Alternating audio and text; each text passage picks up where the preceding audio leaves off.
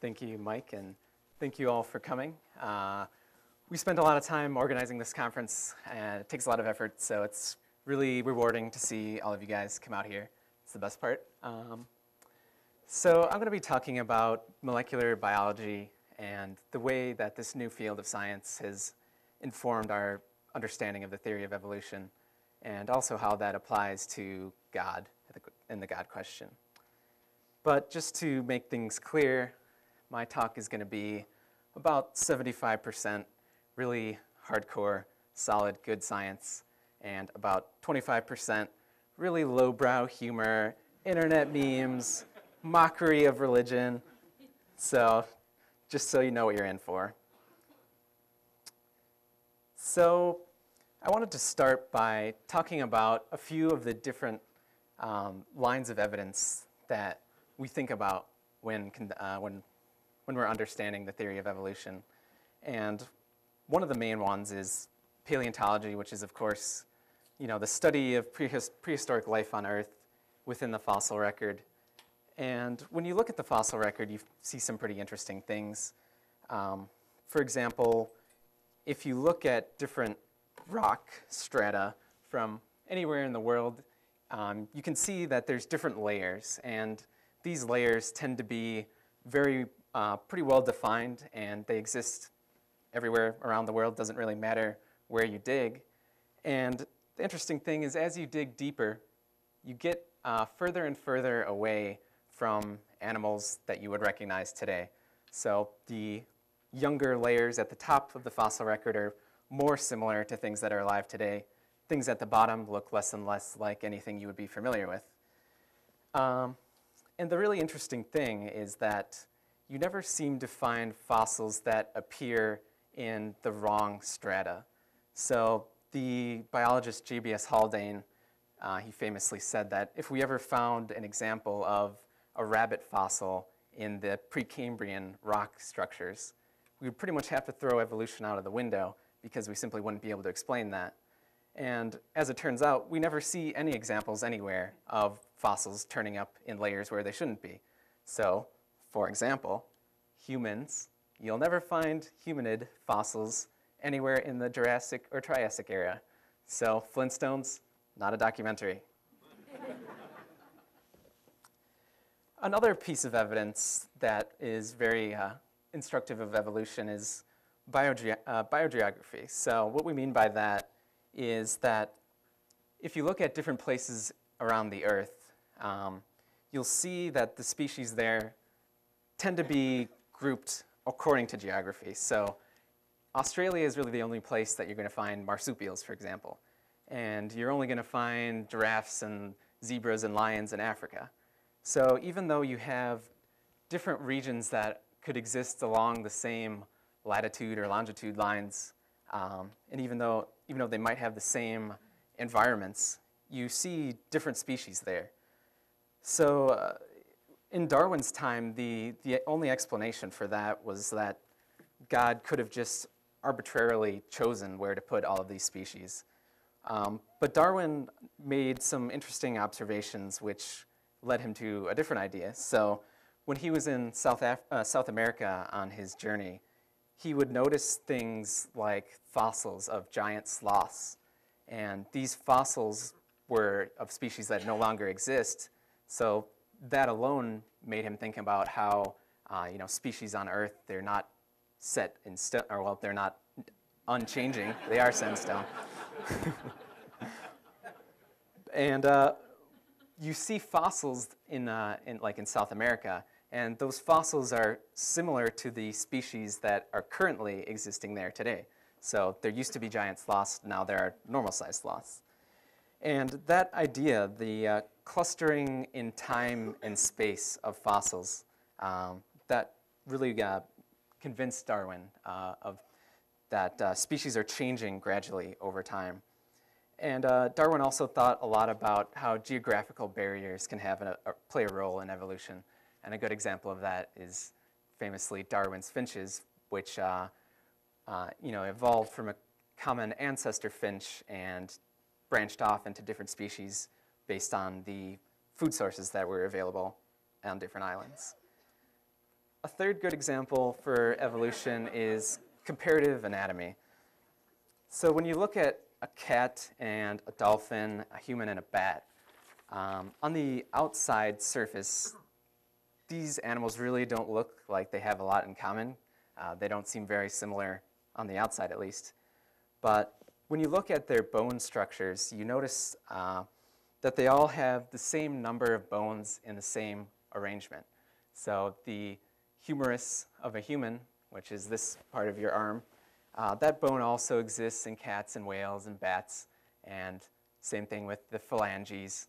Uh, the sizes of the bones are different, but they're always in the same number and always in the same arrangements. And that is a very uh, suggestive evidence of our common ancestry. ancestry.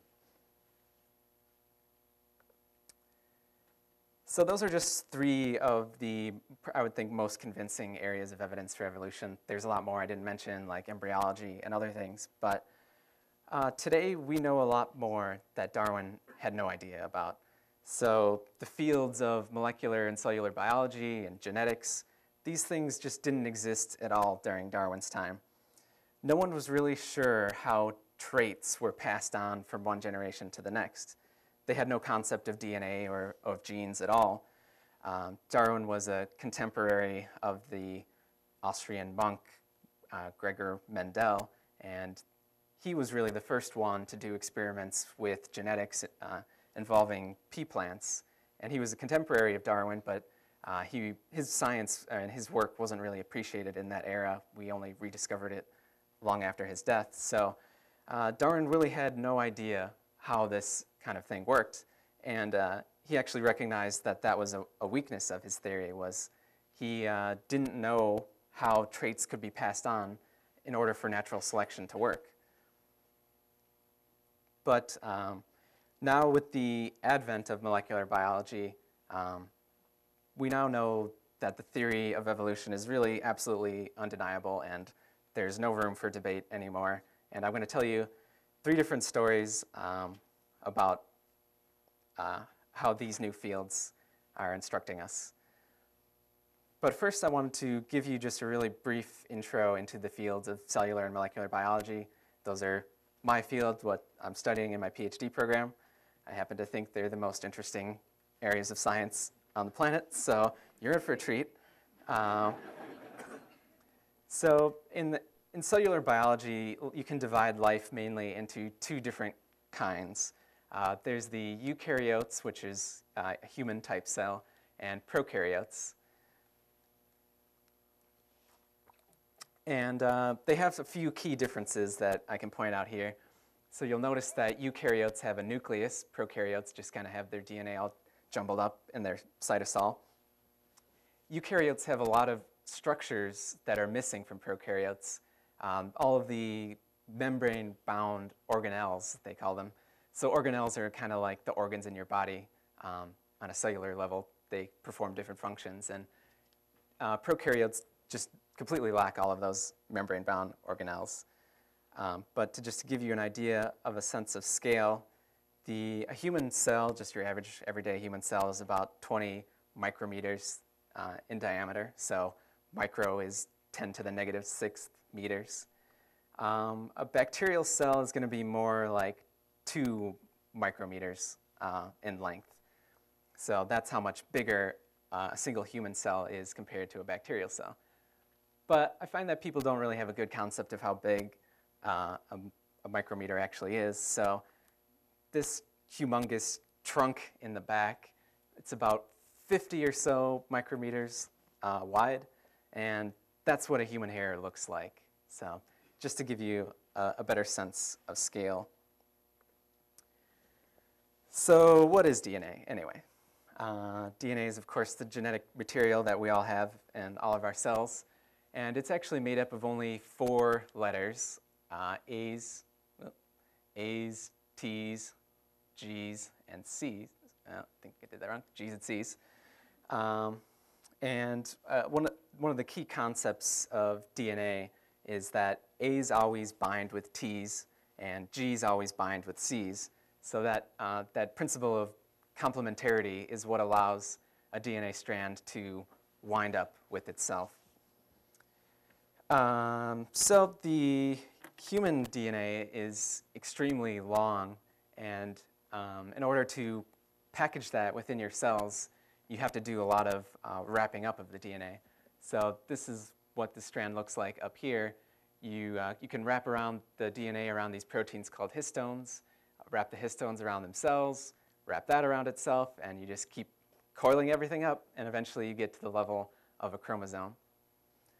And um, just to give you an idea of how much wrapping actually needs to happen, uh, we know that the human genome is about 3 million base pairs long, and we know that base pairs, they're about, what is it, point, 0.3 nanometers apart.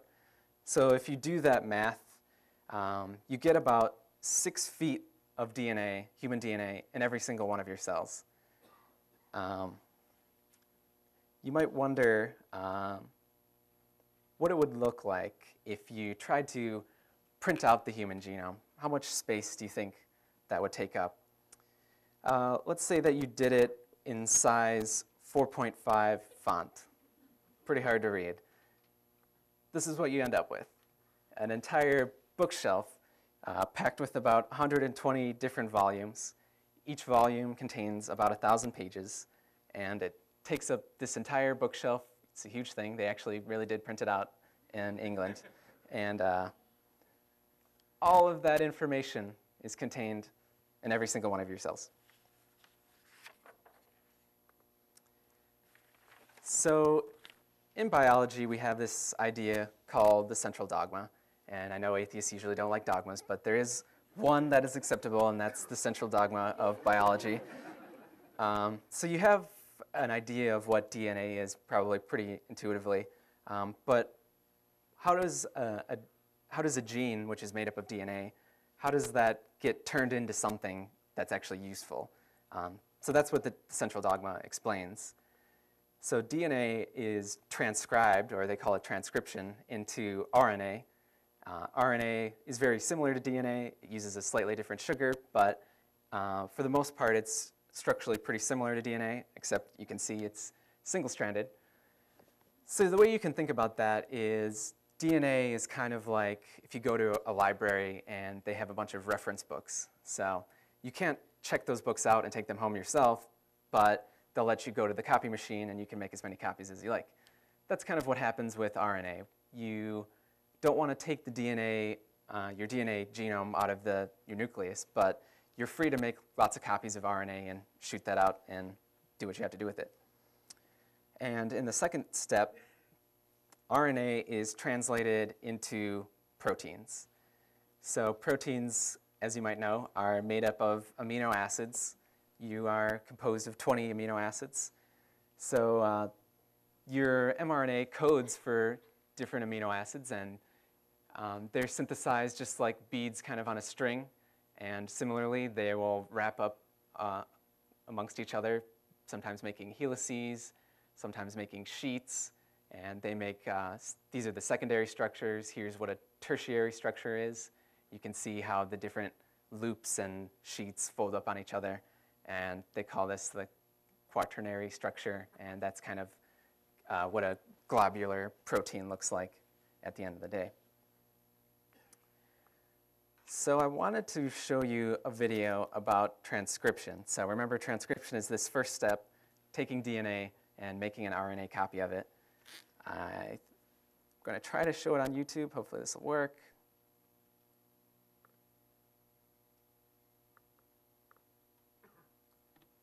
Okay, so you're looking at a strand of DNA, and this floppy looking thing is some of the proteins that are involved in transcription.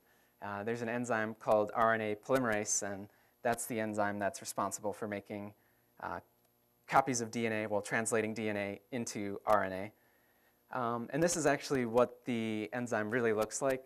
These uh, animations are based on real crystal structures of what the proteins actually are doing. Um, so in a minute here, you're going to get uh, the polymerase fully assembled. There's a, a, lot of different proteins that have to come together in order to make this work. Um, and once it gets going, I think you'll see it's pretty entertaining just how speedy the polymerase can be.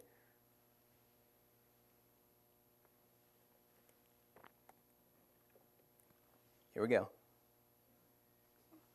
Almost.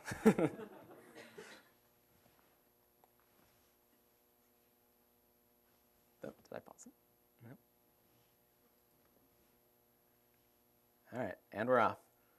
So there goes the polymerase flying around the strand of DNA and making a copy uh, into mRNA uh, extremely fast. Um, the RNA polymerase actually proceeds at about 3,000 bases per minute, uh, which comes out to 50 base pairs every single second, uh, which to me really just seems unbelievably fast, you know, too fast for you to even really see. Um, and uh, I thought it would be fun to just do a little bit of math. And I, I did some calculations where you've got about 50 trillion cells in your body, um, and each one of those cells has about 1,000 active copies of RNA polymerase at any given time. That's probably actually a low estimate. So if you do that math, you'll see that um, at any instant, you are producing 5 times 10 to the 16th bases per second. Uh, so that's 50 petabases. Um, and that's really a number that's just too huge to comprehend. So just to give you an idea of how much data that actually is, if you took the entire contents of Wikipedia, that would be about 14 billion letters long. Um, in your body, you're doing 50 petabases every second. So do the math, and your body is producing the information equivalent of the entire Wikipedia about 3.5 million times every second. Uh, it's such a stupidly big number that seems like they can't even possibly be right, but I checked my math. I'm pretty sure it is. so let's get back to the PowerPoint.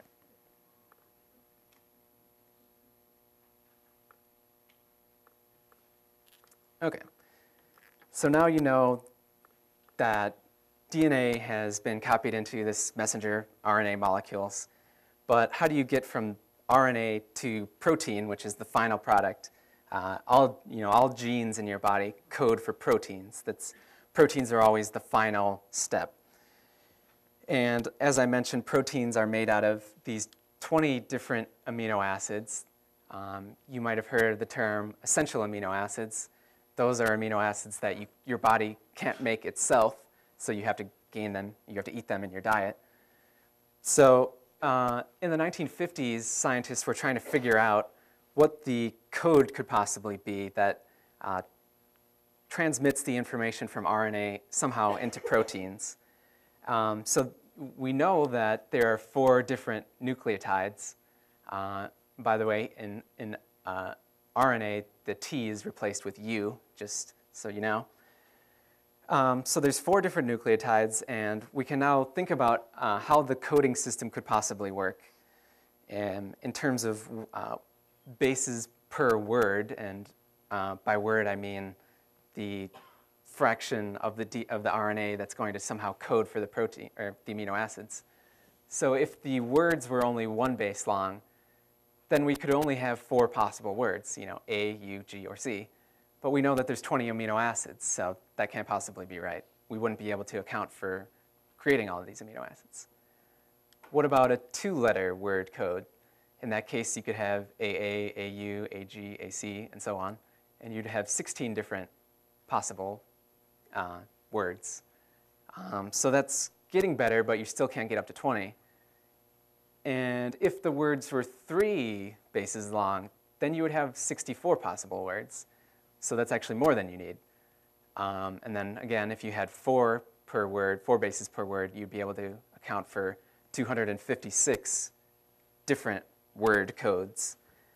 So when scientists were thinking about this, they thought that, well, they knew that one and two couldn't possibly be correct.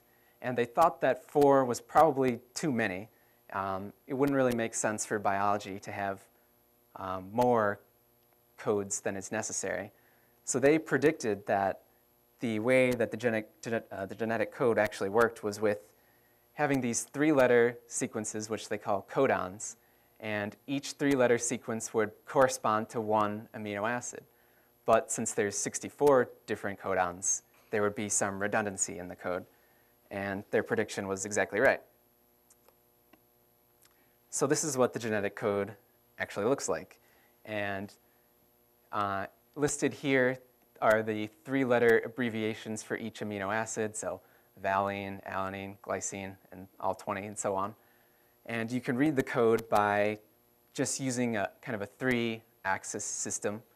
So if you start with the letter A in the first letter, and then your second letter could also be A, then you have a couple different possibilities. If the third letter is A, you've got AAA, that codes for lysine.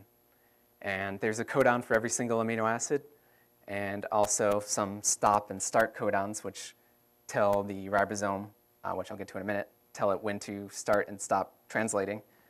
And you can see that there, there's that redundancy that I talked about. So here's serine, and here's four different ways to code for serine.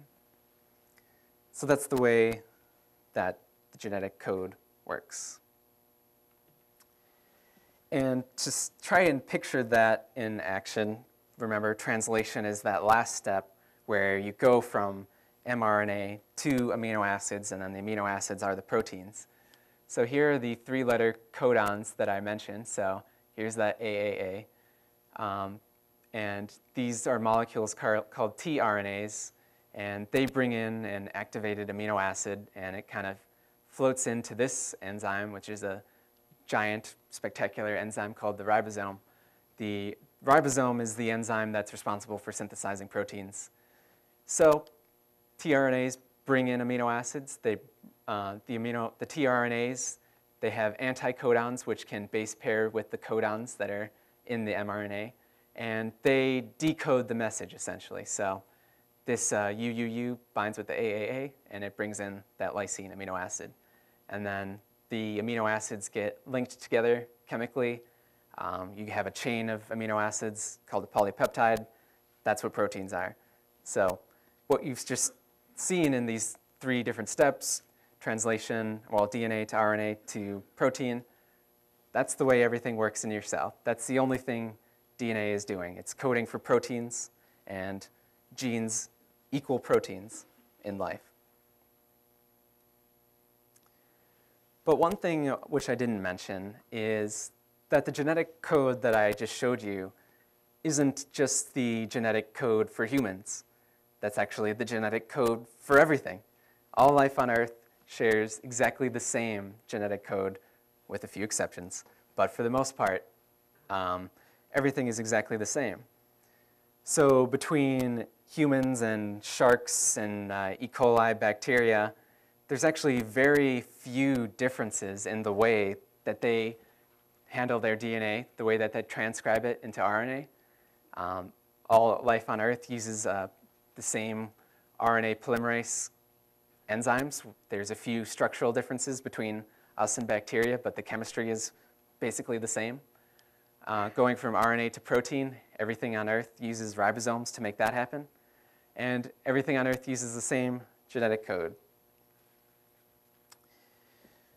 So I think this alone, before I've even gotten into my good arguments, uh, I think this is in itself a pretty convincing evidence for the theory of evolution. Um, if creationism is true, God could have actually chosen to do this any way he wanted. There could have been completely separate genetic codes for every species.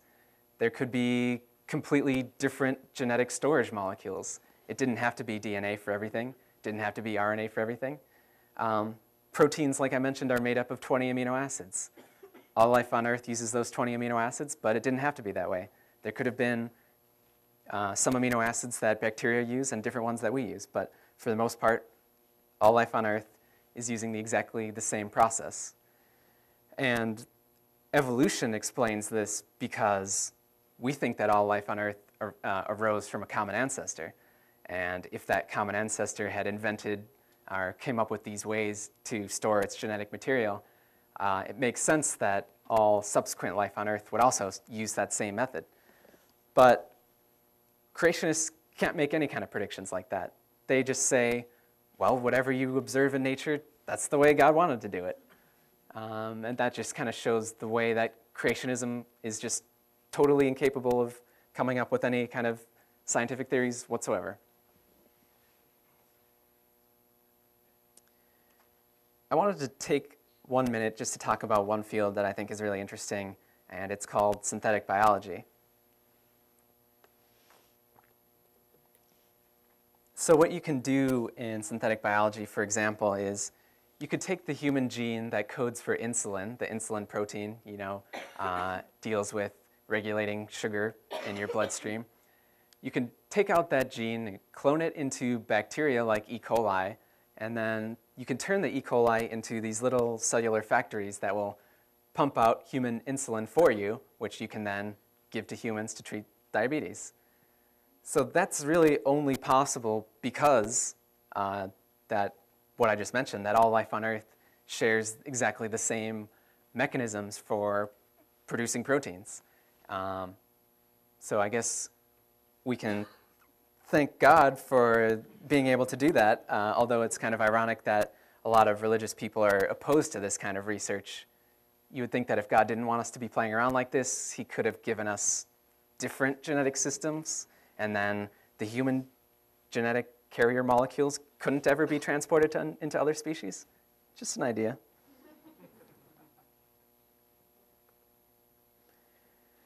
so now I'm kind of in the heart of my talk, and I'm going to tell you three different stories that illustrate the way that modern understandings of molecular biology really are the nail in the coffin in ideas like creationism and intelligent design.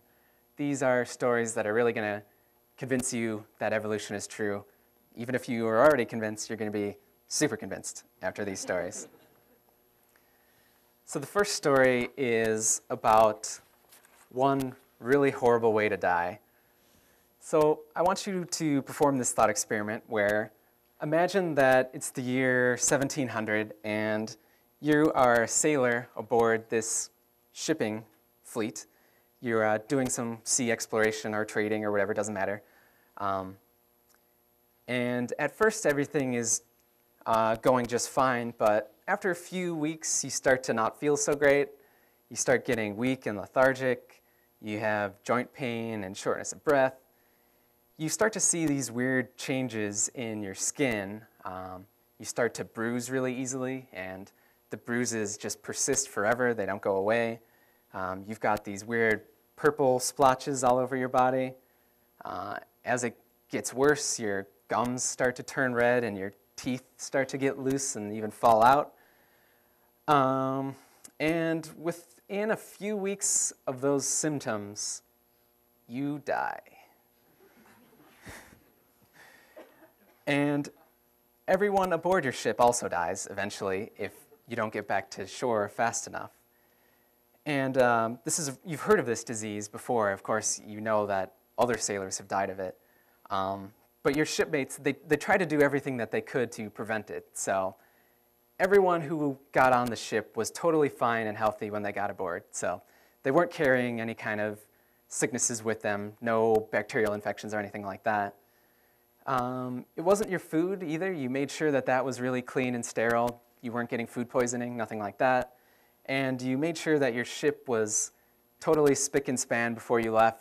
Weren't any kind of rats, nothing like that, no varmin that might have gotten you sick. So does anybody have an idea of what it was that killed you? Yep, it was scurvy. and you know, the worst thing about dying this way other than the horrible process that it goes through, is that since it was just scurvy, your life could have been saved by a lemon. All you had to do was eat a lemon and you could have survived. And in fact, if you were uh, a sailor, anytime between the years of about 1500 and 1800, if you were from France or Spain or Great Britain in any of their great navies, you were actually far more likely to die of scurvy than you were of any, of any kind of combat at all. Um, eventually, the British did figure it out um, in uh, the 1700s, but there was some controversy. It wasn't really established for another couple hundred years. People discovered the cures and then forgot it because they didn't really have a good understanding of the way the science actually worked. But um, you've probably heard of the term limey to refer to British sailors, and that's where this comes from. Uh, eventually, when they did figure it out, they, the British Navy mandated that sailors had uh, daily lime juice rations, so to prevent scurvy. So that's where that term actually comes from. And uh, what's, what, what citrus fruits like lemons and limes have is vitamin C. So let's talk about the connection between vitamin C and scurvy.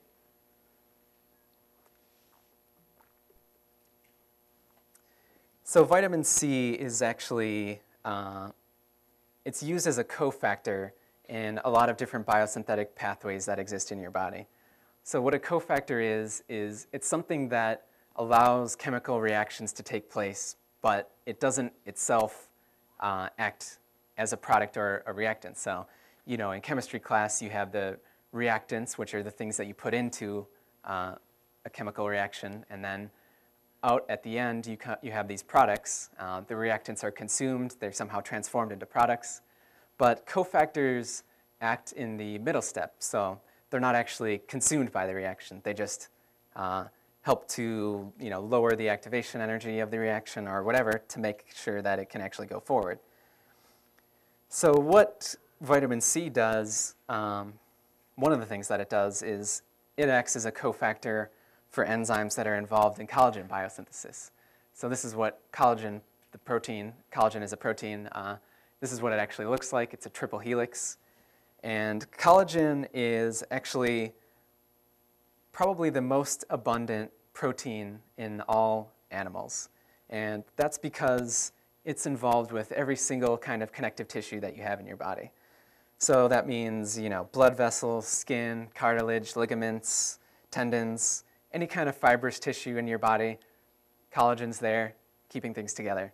Collagen is a really important structural protein, so it makes sense that when you have uh, a deficiency in vitamin C, you can't synthesize the collagen correctly uh, once you run out of the vitamin C. And so the collagen can't be made, and your body literally starts to fall apart because you can't make enough collagen. So this is a, I think this is a good illustrative story of kind of the way molecular biology works, where you have some large-scale phenomena that you're interested in, like scurvy, and you can go down to the protein level, figure out what's going on there, dig down deeper, and you know that it's actually enzymes that are functioning, and you can even find you know, the specific atoms and molecules that are playing a role. And uh, so that's what molecular biology is all about. It's understanding life at its most basic fundamental levels. But uh, let's consider this situation also in a little more depth. So humans need vitamin C to survive, obviously. Uh, we can't make it ourselves, so we need to get it from the food that we eat, um, like lemons and limes and other vegetables. So if all of these fruits and vegetables have vitamin C, presumably they need it to survive also. Um, how do they get it? Well, turns out plants can uh, make their own vitamin C. So wouldn't that be convenient if we could just make it ourselves rather than having to eat it and uh, from food.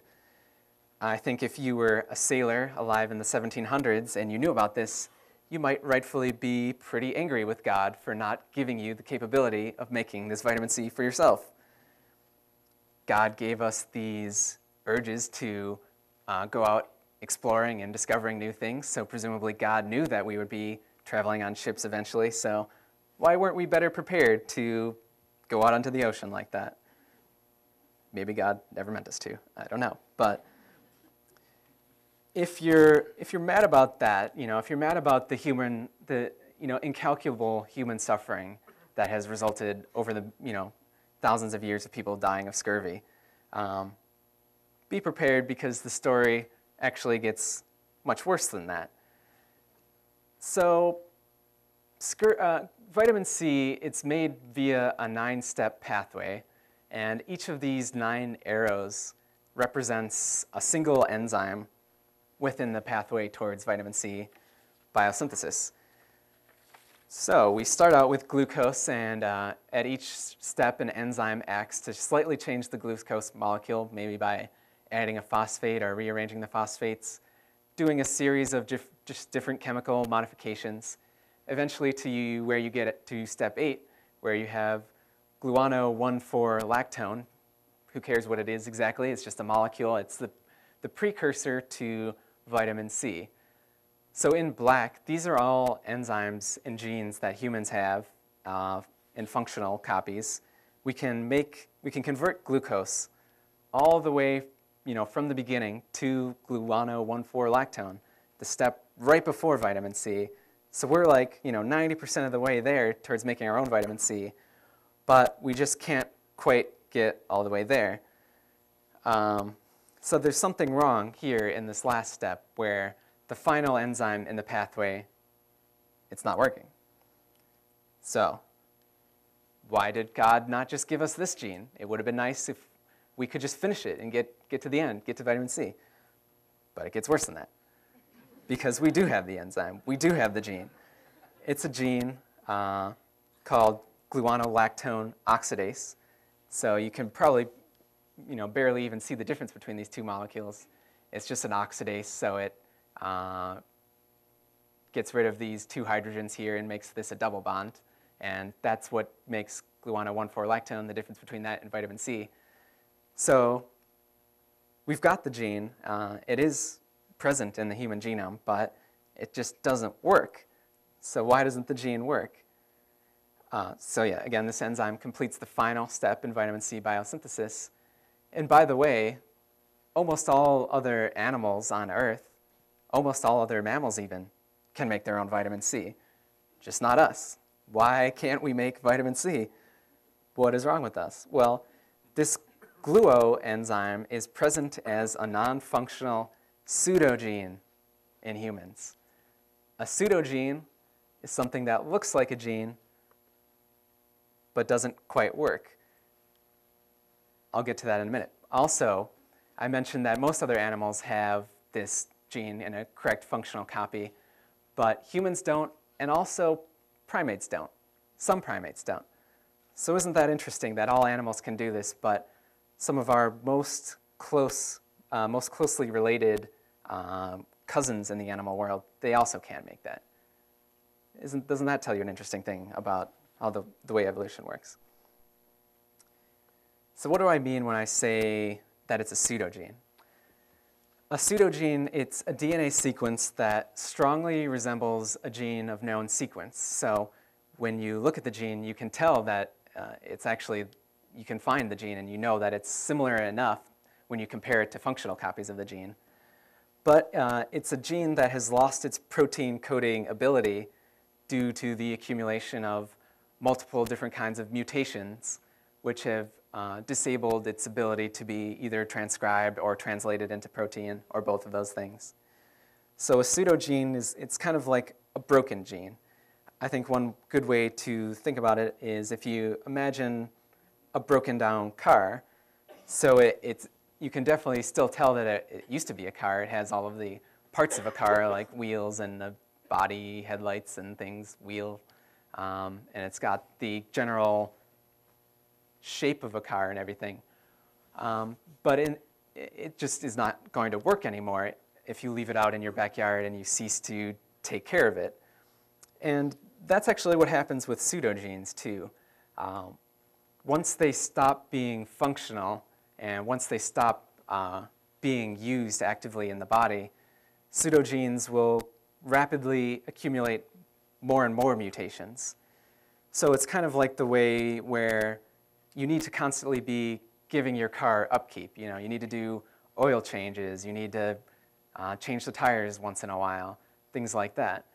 Uh, the analogy in the genetic world for that is the fact that mutations are popping up all the time in your genes just naturally, but you have mechanisms to repair those mutations or to select against them um, if the gene is necessary and important for your survival.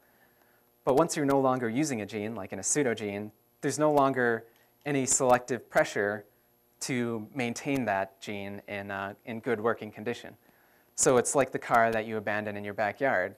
You're not going to be fixing the windows when they break. You're not going to, you know, keep the engine running. Once you've kind of given up on the car, it can accumulate all of this other damage, and it'll um, just because it's, it has ceased being functional.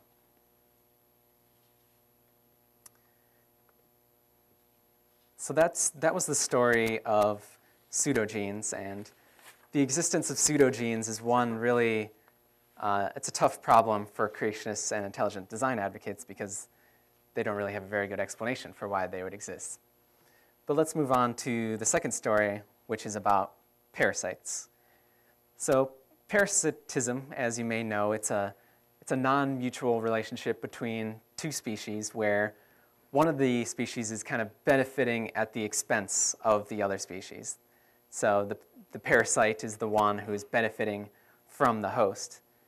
So parasites are generally much smaller than their hosts because they need to fit inside of them.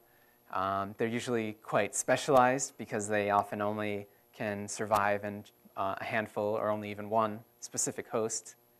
Um, they are harmful to the host. It's, it's never good for you to have a parasite, generally speaking.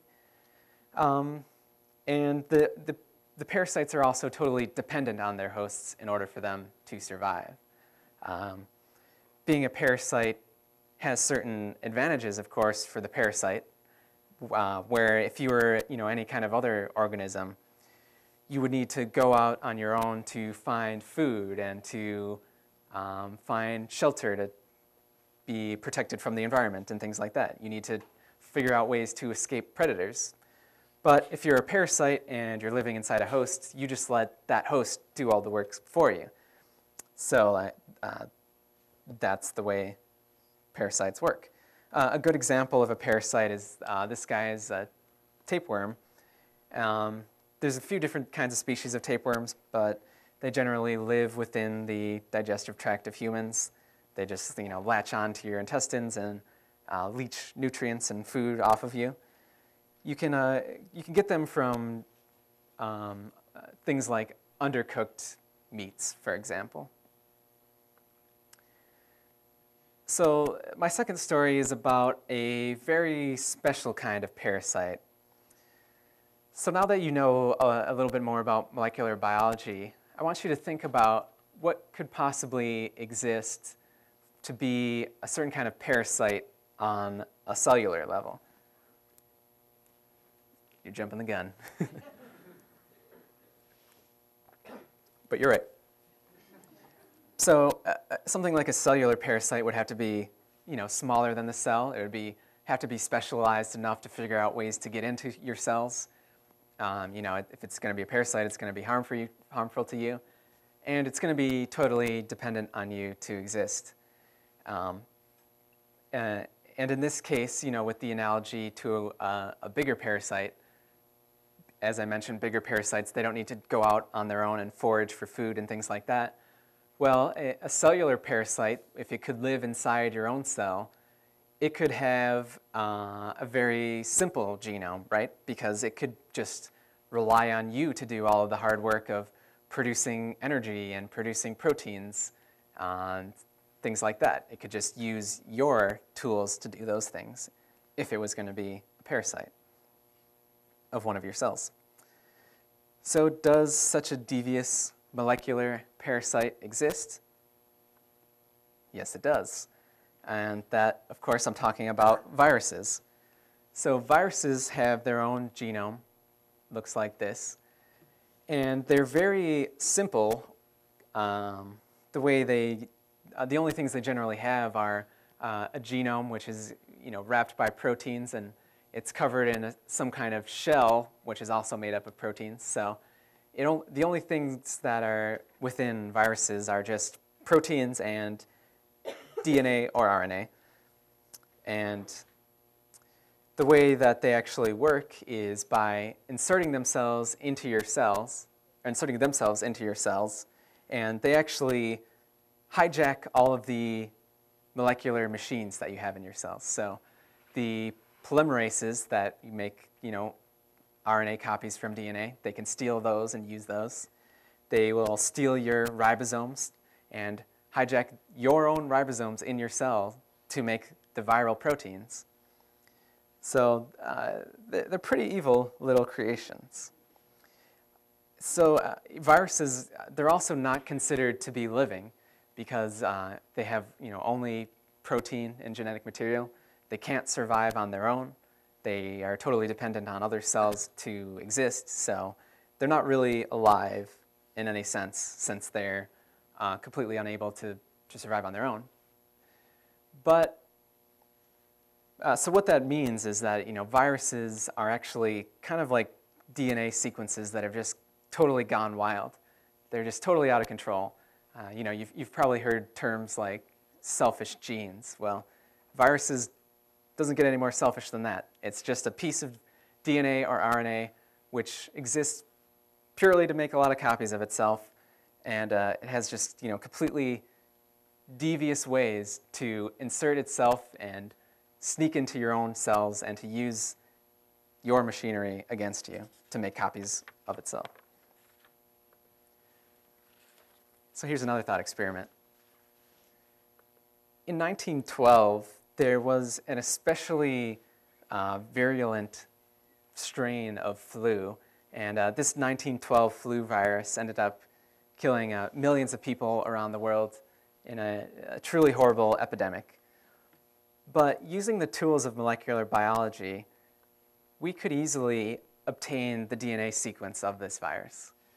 And in fact, we have done that. Um, what some scientists did was dug up corpses of people who died from this epidemic, and there was still enough intact viruses present in their lungs that they were able to sequence the virus in a, in a uh, under, try, well, in, in, order to try and understand it better. And uh, it was actually a very controversial publication. People thought that uh, this information is just too dangerous for anyone to know. But what if I took that sequence and using tools of molecular biology that I know, it would actually be pretty trivial to remake this virus and rec recreate it, bring it back to Earth, and uh, maybe I could take it to a shopping mall and release it there. I'd probably kill a lot of people that way. And what would you think of me if I did something like that? What kind of person purposefully recreate a virus with the intent of distributing it and killing a lot of people? Uh, you'd probably say I was crazy. You'd probably call me a mad scientist or a psychopath, a, a murderer. You would say that it was a horrible crime against humanity, and you'd try to put me in jail for the rest of my life, rightfully so.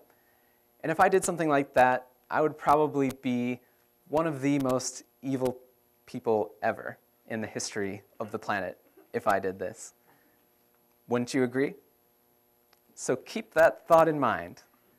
Keep that anger. Keep that disgust about what this entails. And think about what does that say about the God who created all of these viruses in the first place? This is a list of 60 different viruses that infect humans. Just picked my top 60. There's a lot more than this. what does that say about uh, an intelligent designer God who not only created that 1912 flu virus, but also smallpox and diphtheria and, and all of these other horrible viruses that have been a scourge of humanity? Uh, I don't think I would call that a loving God. So uh, uh, one thing I should mention is that you, you shouldn't get the impression that these viruses are, are all pretty much the same. They're not really, they're not, don't think of them as just variations on the same theme. There's actually a lot of different kinds of viruses. I mentioned that viruses, they can have DNA genomes or they can have RNA genomes. They can have genomes that are single-stranded uh, single-stranded DNA or single-stranded RNA, or they can be double-stranded genomes. The protein shell that coats viruses, a lot of different variety there. They can be spherical shells, they can form uh, helixes, they can form uh, icosahedrons and other different shapes like that. So really the, the amount of creativity and ingenuity that the intelligent designer put into designing all of these different viruses is it's truly breathtaking.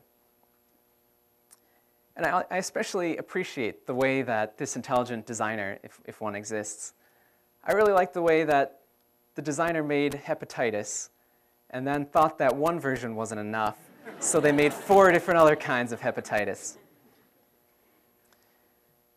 What I'm getting at is that I get kind of annoyed when intelligent design advocates sing the praises of things like the bacterial flagella and the eye and uh, the immune system and how amazingly designed all of those are and how beautiful creationists think rainbows and butterflies and puppies are. Um, but if you're going to give God credit for all of those cool things, God also needs to take responsibility for all of these viruses. uh, another thing to mention about this page, there's one special virus on here. Uh, you can perhaps predict which one it is. Variola, also called smallpox. It's the only virus on this list that has been eradicated from the surface of Earth. Scientists cured that one. Uh, it might still exist in a few uh, highly secretive and well-protected labs in Atlanta and maybe somewhere in Russia, but uh, for the most part, smallpox is no longer a virus that is killing humans. And for that, we can give a hearty thank you to scientists who dedicated their life to eradicating it. So that's, uh, if you're keeping score, that's about you know, one for science and negative 60 for God. I also wanted to do a little experiment just as an aside. Um, what I would like, and it involves you guys, so there's some audience participation. So there's a few viruses also on here that I think are interesting, and those are measles, uh, mumps, and rubella. So what I want you to do is, if you're under the age of 30, I want you to raise your hand if you or anyone you know from your age group uh, has ever gotten measles, mumps, or rubella? Anyone under 30 who has gotten one of those? Okay. One, I see one, one hand went up. Okay, here's a follow-up experiment.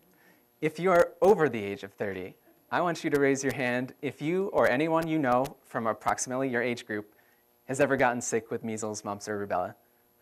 Ah, interesting.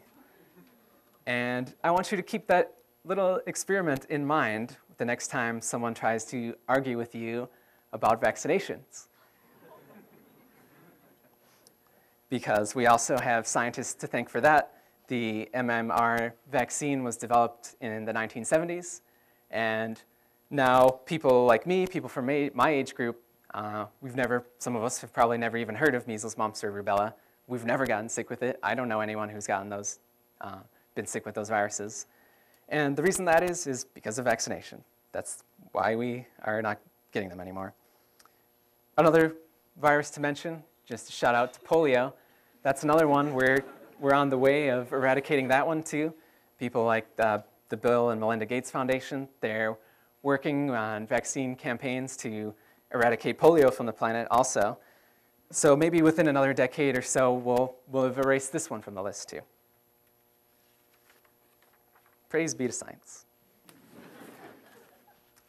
So back, back to evolution. Uh, what, do, what does my little story about viruses have to do with evolution? Well, there's a certain kind of virus which uh, works in a, a, special way. So the virus, you can see it up here, it's binding to your cells, uh, kind of merging with your cell membrane. Then the viral, um, it's actually viral RNA, makes its way into your nucleus. And the RNA genome makes a copy of itself into a DNA form. So that's you know, the opposite direction of the central dogma. You've got RNA going to DNA. It uses an enzyme called reverse transcriptase to do that. Pretty cool enzyme. So that uh, viral DNA then integrates itself into your into the chromosomes uh, that exist in the in the nuclei of your cells. Uh, so you know, generally when that happens, those cells are they either die or your immune system kills them off. But uh, very, very rarely, uh, every once in a while throughout the course of evolution, um, viruses have found their way and integrated into germline cells. And by germline cells, we mean things, you know, sperm and eggs. And if a virus makes its way into one of those kinds of cells, you'll actually be able to pass on that virus to your progeny. Um, so that, I mean, that in itself is an extremely rare event for that to occur in a germline cell. Uh, and it's also an extremely, extremely rare event for uh, a virus to find its way into the germline and to be propagated throughout the course of evolution, but it, it has happened. And when that happens, you end up with something which is called an endogenous retrovirus, or ERV. So what I was describing was a, they're called retroviruses because of reverse transcriptase, but ERVs are uh, endogenous, which means they've made your way, made their way into the human genome. Um, so keep in mind the way that works. If, if a virus finds its way into a germline cell and it's passed on to your progeny, um, you know, humans start off as a single cell, so, and everything goes from there. So if, if this virus had started off in that single, you know, the fusion of egg and sperm, then every subsequent cell is going to have that same virus integrated in the same place. Uh, so that, that's what an endogenous retrovirus is. It's, it's found its way and it's integrated itself into your genome.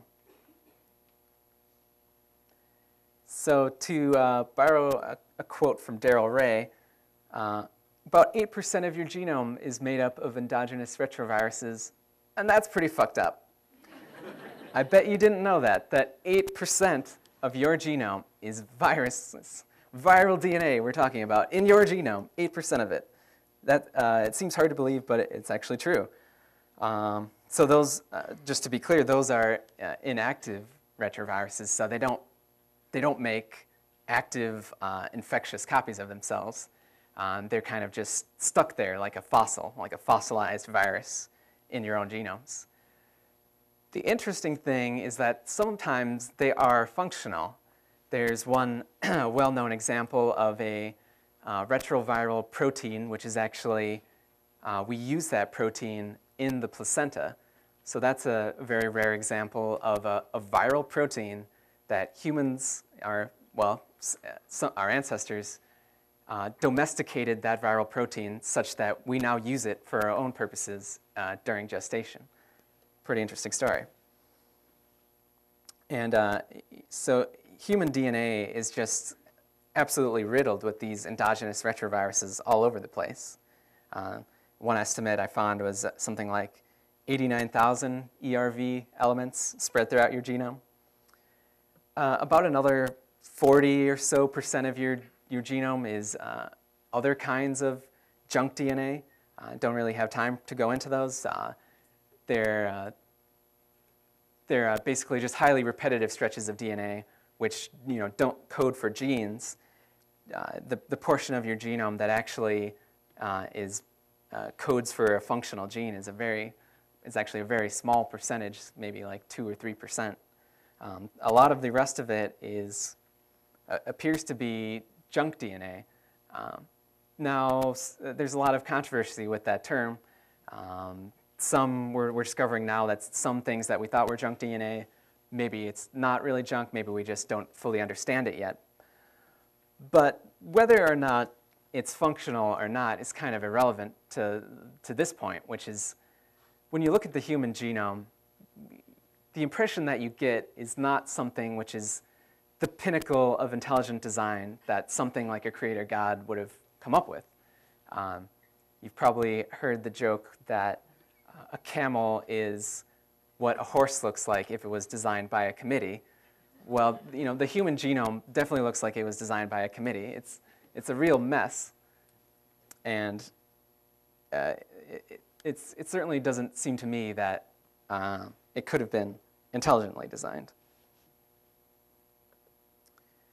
Uh, so given that 8% of your genome is made up of viruses, that uh, leads to an interesting question.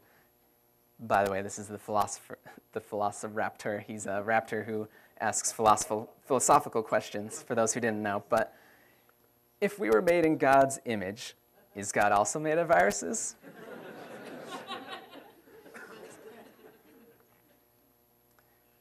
All right, so now we are on to my last story, which is, I think, probably the single most convincing evidence for evolution uh, that has come out from molecular biology. So what you're looking at here, it, it's called the cladogram. So you have just different branches of the tree of life that are divided based on uh, the characteristics of them. So you know, you could group the plants over here, group bacteria over there. Then here's the animals. Some of them are mammals. Some are, you know, some are vertebrates. Some aren't. Some are arthropods. And uh, when you make a cladogram, you're basically you're, you're drawing a tree of uh, assumed relations just based on uh, the structural features that you're noticing within these species. But a, a, cladogram is it's very qualitative. So in a cladogram, the lengths of these lines don't really mean anything. They're just, uh, you know, you can draw them to make the, whatever shape you want to. But with molecular biology, we can do one step better than that. And uh, we can create something called the phylogenetic tree, which where we do a genetic analysis. So we're not just looking at the uh, you know, higher level structural features of these animals. We can look at their genomes, compare those genomes, and get a lot better understanding of the relationships between them. So here's a few pictures of some of, uh, just some of the um, different kinds of life on Earth that we've sequenced. So by sequenced, I mean we, we've completely um, uh, read every single base pair from the genomes of all of these organisms. So I, I decided to do an experiment with uh, using these, I think it's 18 different species, and I wanted to, uh, to look at them and look at a, a gene within them and uh, try to do, uh, try and do a phylogenetic analysis. Uh, so as far as I know, no one has ever done this before. I didn't know that it, was work, that it would work when I was going into it, but I think you'll be pretty pleased with the results. So the gene that I chose is called glyceraldehyde 3-phosphate dehydrogenase. Um, so it's kind of a mouthful, but this is a pathway called glycolysis. So you start with glucose, and it's uh, about an eight-step pathway where you're breaking down glucose. Uh, it starts out as you know a six, a ring of six carbons. It's a six-carbon sugar. Eventually, you, you split it in half, so there's three carbons you do a bunch of molecular rearrange rearrangements, blah, blah, blah. At the end, you end up with pyruvate. Uh, pyruvate is the end molecule of glycolysis. Pyruvate moves on to the citric acid cycle, for those who are interested. But glycolysis, uh, one of the enzymes within this step, within this pathway is called, again, glyceraldehyde phosphate dehydrogenase. And uh, I chose this one because uh, well, it's first of all, it's in glycolysis, and all life, pretty much all life on Earth, uses this pathway. So I knew that when I was going to look at these different genomes, that I would be able to find this gene first of all. Um, and also, uh, I just know uh, that it's an important gene in glycolysis, so I thought it would be interesting to look at. So what I did was I used a resource called GenBank, which is an online database which has every single gene that has ever been sequenced or discovered anywhere in science. Uh, you know, it's one of the greatest pinnacles of human achievement is to create this gene bank where all of our knowledge about different genes is stored and anyone can access it. Uh, I guess if you have the university credentials anyway. But so I looked up the sequence of this glyceraldehyde 3-phosphate dehydrogenase gene from two different species here. Uh, on, on, this slide, I'm comparing it from humans uh, to cows. And here, we're looking at the amino acid sequence, by the way. So you can find the nucleotide sequence, the, you know, the DNA sequence of the gene. But this is the final product. This is the amino acid sequence, which makes up the protein. So uh, you can just take a minute and see if you think that these two proteins are, are similar or not, or not. Or uh, can you find any differences, maybe?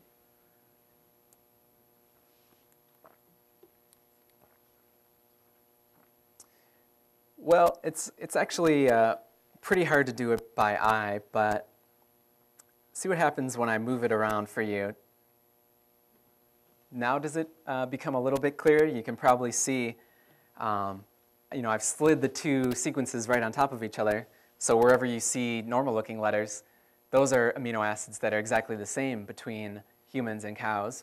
And wherever you see these, you know, these weird things which look like two letters overlapping, those are uh, amino acids that differ in that position between these two species. And here I'm highlighting those differences in red uh, just to make it a little bit easier to see. Um, and as you can notice, there's a total of 19 different amino acid substitutions. So 19 amino acids are different for this GAPDH gene between humans and cows. Uh, maybe that in itself is already a little surprising to you that humans and cows are so similar um, at the genetic level, uh, at, least for, for this gene. Here, let's look at another species that I, I, looked, I looked up the sequence for this. Um, this is what the sheep version of this gene looks like. And it also has a total of 19 different amino acid substitutions that uh, differ in these highlighted positions um, when compared to humans.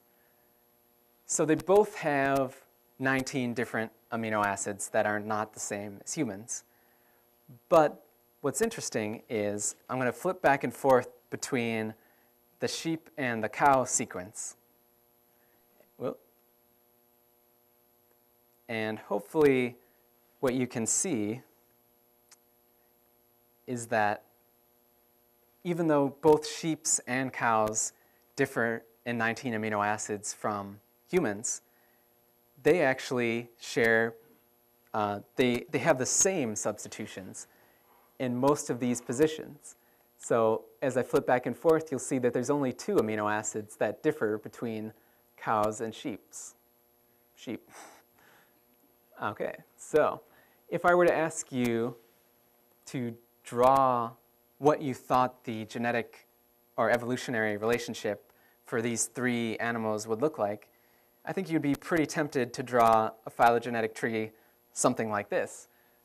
Because sheep and cows, there's only two amino acids different between their two copies of this gene, but between uh, cows and sheep and humans, there's 19 differences. So just based on that, just based purely on that, we can infer that sheep, uh, sheep and cows, well, they probably have, they probably share a common ancestor um, uh, more closely together than, uh, than, than with humans. And uh, so this is, this is what a phylogenetic tree actually does, is it incorporates um, sequences and uh, it you'll look at the degree to which sequences uh, agree with each other or differ with each other, and uh, the extent to which they are the same is telling you something about our evolutionary history. Um, this is actually called the, you know, the molecular clock hypothesis, just based on looking at how many mutations or how many, how many differences there are between uh, the proteins that you have and the proteins that other species have you can get a pretty good approximation of how distantly related you are to them. Um, so what I did is, you know, I have the sequences from all of these uh, 18 different species over here. And I use a program called MegAlign, but there you could use a lot of different ones. Um, and what this program actually does is similar to what you were doing when you were trying to compare those two sequences, sequences that were uh, overlapping with each other. Um, but uh, the computer program does it for you. It actually uses matrix algebra to uh, uh line up those two sequences at every possible different position and try to find the one that has the least number of discrepancies between them. And if you do that uh, over and over again, you will start to construct a phylogenetic tree. Um, so let's see what that actually looks like. These are the results of my little experiment. Again, I didn't know what was going to happen. Uh, I didn't look this up. I didn't cherry pick. Um, but I was able to produce this phylogenetic tree um, using this program just based purely on the sequences of one gene that's present in all of these organisms. So uh, let's look at um, what's actually going on uh, within this phylogenetic tree. So maybe you learned in high school biology, uh, King Philip came over from Greenland stoned is one way to remember it. Um, these are the different uh, hierarchies of uh, describing taxonomy of different species. So uh, it starts at kingdom, kingdom at the top. Kingdom is the most broad. And as you go down, you get more and more specific to where you're finally just getting to the species level, which is as specific as uh, we get. So from the kingdom level, you can immediately see that there's three main branches. Bacteria are down here, all off on their own. Plants, they have their own branch. And then everything up above that, uh, those are in the animal kingdom. What about at the phylum level? Uh, well, within animals, two uh, main, uh, well, two giant branches between uh, different kinds of animals are those that have a central nervous cord and those that don't. So chordata are animals that do have it, and arthropods are ones that don't. So all of the insects, they branch off on their own little uh, section of the tree down here. And the, the uh, chordata, or uh, chordate, they are everything up at the top. What about on the class level? Well, there's the insect class. Uh, you can see amphibians are their own class. They branch off on their own. The actinopterygii, don't know if I'm saying that right, those are bony fishes. So uh, within these uh, different kinds of animals, you can break them up into fishes or fish. So that's a zebrafish and that's a salmon. Uh, you can break them up into birds, chickens, and sparrows. And you have another branch for mammals. Uh, up here in the mammal portion of the tree, you can break it down further into carnivores like dogs and cats, uh, Artiodactyla, uh, which are uh, animals that have hooves, uh, and primates, uh, us and chimpanzees. So this is, uh, I think this is really the most convincing uh, evidence that you could possibly ever find for evolution that just based purely on looking at a DNA sequence, we were able to completely replicate the same phylogenetic tree that you would, you would also have produced using any other number of methods that people use to construct them. So you could look at embryology, or you could look at the fossil record, you could look at comparative anatomy. And uh, you know, those were all methods that we used in the past in order to construct these trees. Um, but now we can use genetics, which is going to be more accurate and more dependable, and we produce the exact same trees that we would have expected to produce. Um, uh, and this is, this is why evolution is such a strong theory, is that we have these totally new branches of science, um, you know, that were totally not understood, totally unknown in Darwin's time. So, you know, genetics, biochemistry, genomics, uh, molecular biology, cell biology, none of that was around when Darwin was alive. And uh, as we developed these new areas of science, um, we were able to test the theory, the, the, the, theory of evolution in completely novel ways. And, and that's really the strength, uh, the, the, sign of a strong theory is uh, a theory that stands up in the face of new evidence and, and of new ways of testing it. Uh, and I don't think there's any other theory on Earth that has stood the test of time quite as well as evolution has. Um, So just to review the three, uh, the three different stories that we talked about. So uh, remember the phosphogluconate oxidase enzyme